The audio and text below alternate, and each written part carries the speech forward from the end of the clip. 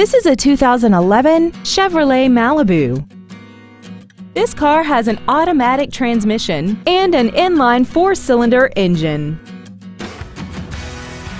Features include XM satellite radio, a multi-link rear suspension, traction control and stability control systems, a six-speaker audio system, a four-wheel independent suspension, dusk-sensing headlights, side curtain airbags, air conditioning, external temperature display, and this vehicle has less than 10,000 miles. With an EPA estimated rating of 33 miles per gallon on the highway, its fuel efficiency will save you time and money.